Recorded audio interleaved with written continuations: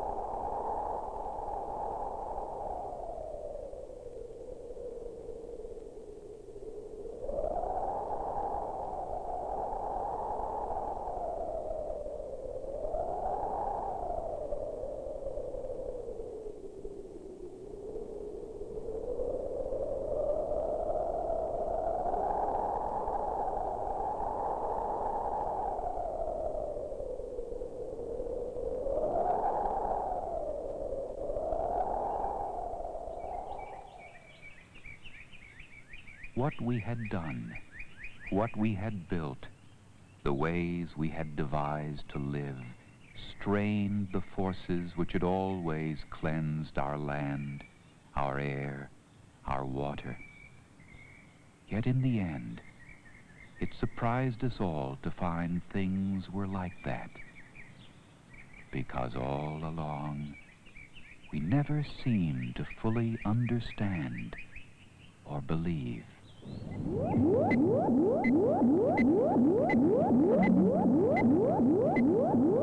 Woo!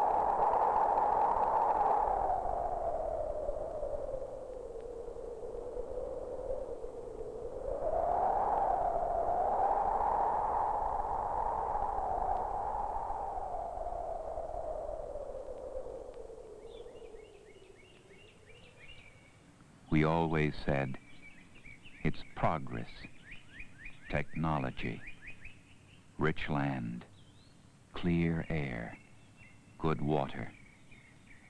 That was the price. Paid not as a matter of course, but as a matter of choice. For the brains that produced that super technology boasted, at least, the wisdom to use it wisely.